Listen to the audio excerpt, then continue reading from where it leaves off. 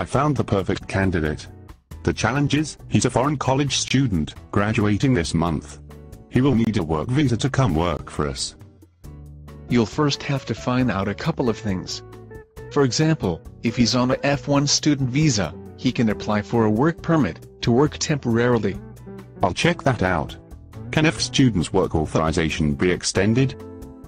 It may be, but even so, he'll eventually have to apply for an H-1B visa. It'll give him up to six years, maybe even more, to work for you. But I heard there's a cap.